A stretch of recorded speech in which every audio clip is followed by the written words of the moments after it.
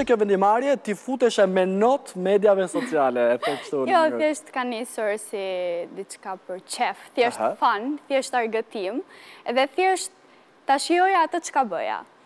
Dhe vetëm kaq. Ka qenë pandemia që të bashkoi apo jo, je futur dhe më herët atëherë kur njerëzit nuk e dinin fuqinë e TikTokut? Më herët që në aplikacionin e parë që ishte Musical.ly. Që më fal për injorancën, unë thashë si Ermal Peçi sot e gjej për herë të parë ç'ndodhte me këtë aplikacion? Thjesht u bë shumë bujë atëherë ky aplikacion. Është ajo me këngët apo e ngatërroj unë? Po, me këngët. Okej. Edhe e përdornin më shumë të huajt, edhe pak e njihnin shqiptarët, por ka nisur aty. Por e bukura është që unë këto video i mbaja vetëm për veten time. Kush të tha mos i mbaj më për veten tënde? Si ishte kjo vendimmarrja për t'i bërë videot publike, për të hapur pastaj TikTok? Motra ime, shoqet e mia të ngushta, domethënë që ia tregoja videot edhe thoshin Po për çfarë ti nuk i publikon, pse nuk e shfaq ti veten tënde, që njerëzit të të njohin. Kjo do të thotë që ti ke edhe një zë të bukur, mund të jesh një këngëtare to be apo jo, fare? Jo, jo, do doja shumë, por jo, nuk kam. Të bënim ca lek, tha Ermal, tha, bënim nga 10 mijë euro për koncert, tha, si këngëtar, po jo, nuk ishte fati jot. Por në fakt, fati yt mund të jetë drejt modelingut, mund të jetë drejt shumë gjërave të tjera që do të flasim pak çaste më vonë, pastaj raporti me TikTokun, si ndodhi, e pe që njerëzit po bëheshin fan, kur i pe ato klikimet që rriteshin, rriteshin, Pate një moment që the Era, prit se njerëzit po të duan, dhe pse po të duan. Po, edhe akoma nuk e di se për çfarë më duan. Thjesht, kjo ka ndodhur që në videot e para që unë kam hedhur dhe direkt mua më janë bërë virale dhe ka qenë thjesht një wow, edhe unë kam thënë, okej, po për qëfar... Si është, ti zgjohesh një mëngjes dhe shikon reagime pa fund, ma trego pak të impaktin, po, se unë s'kam TikTok dhe ndaj jam kurios.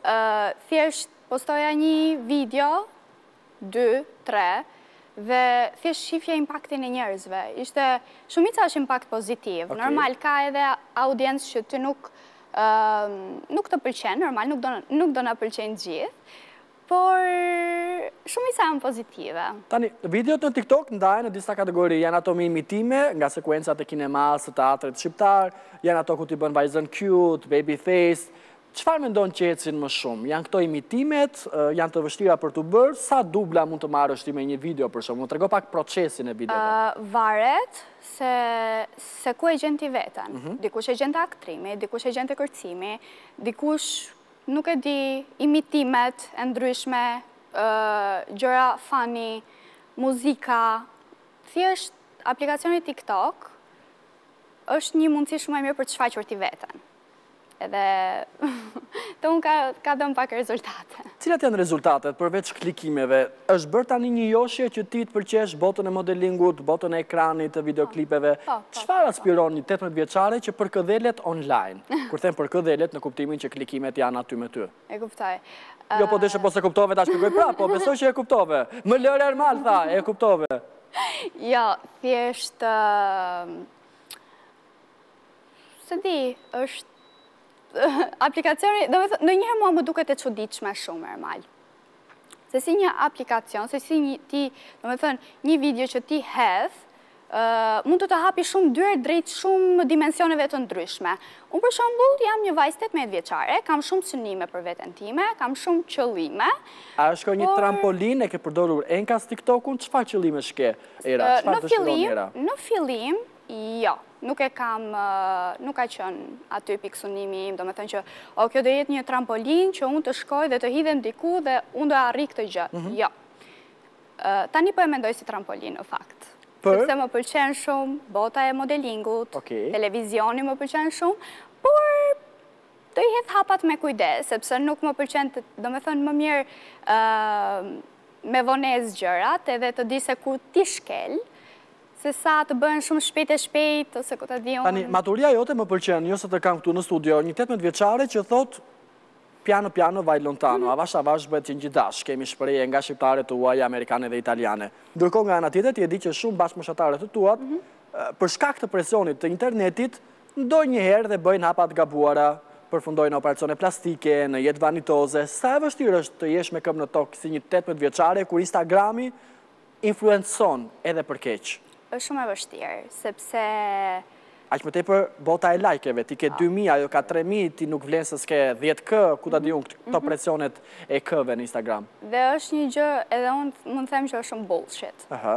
Është shumë absurde. Po, nuk kemi çfarë bëjmë, është shumë ndikuese. Ke ti shoqe apo shokë, bashkëmoshatarë që të thonë, Ermali është më i suksesshëm se ka 10 K, po them, Manjola ka 15 dhe është akoma më e suksesshme?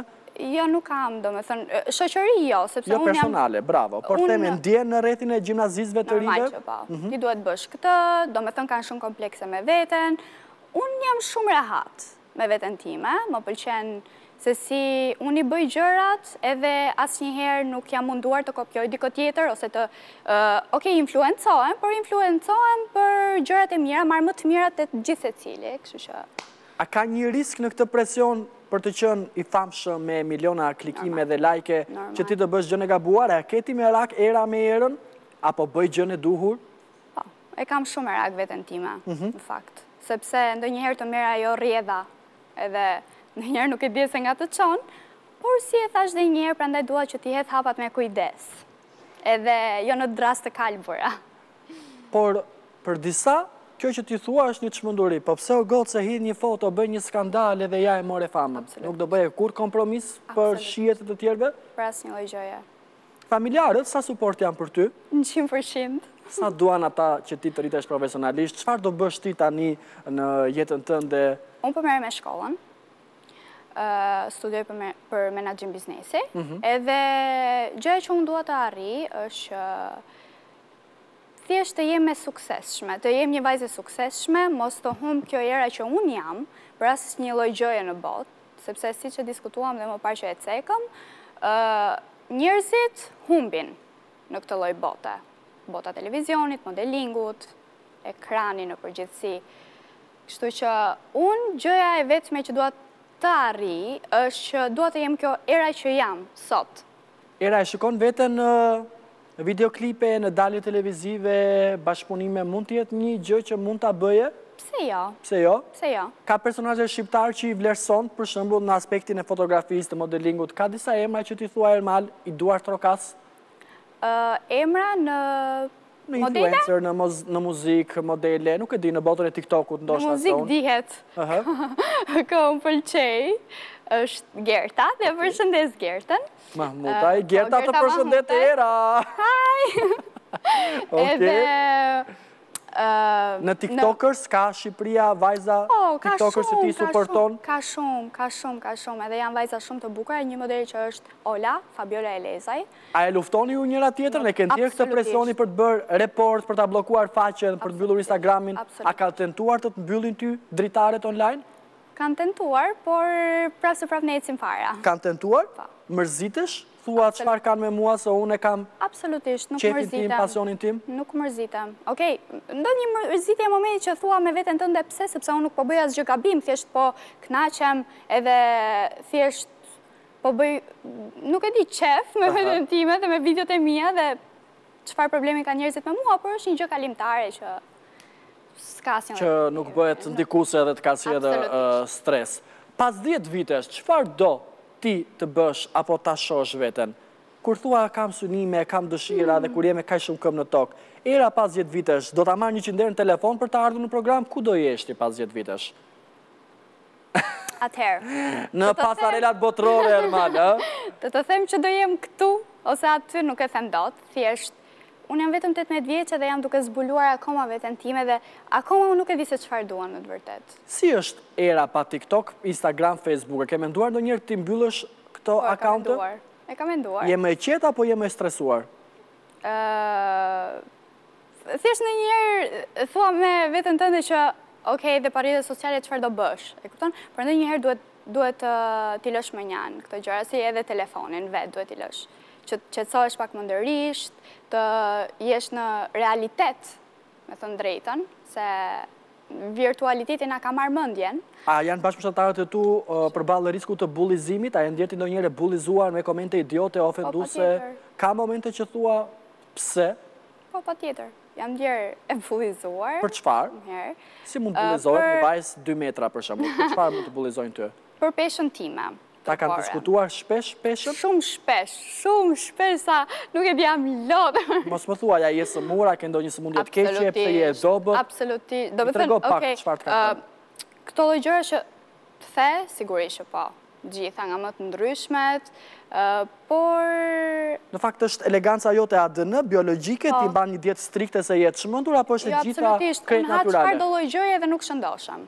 U kthye ndonjëherë problem? Çfarë kanë këta që thonë je e dobët dhe ti thjesht shijon çdo gjë? E kam pasur problem deri në një farë moshe, 16 vjeçe, pastaj thjesht kam thënë që unë jam mirë me veten time, unë e dua veten time, Edhe thjesht njerëzit le të flasin. Çfarë peshe ke ti tani? Pesëdhjetë e tre. Po ti je si perri, yll, mos ta çoj Erën në këmbë unë tani se kam frikë operatori s'do e kapë dot, po i themi gjithë tyre njerëzve që qëndrojnë para një tastiere, le të merren me veten e tyre, le të duan veten e tyre dhe pastaj të merren me jetën tonë, apo Era? Është e vërtetë, është e vërtetë. Unë jam shumë i bindur që ti do të kesh suksese të mëdha.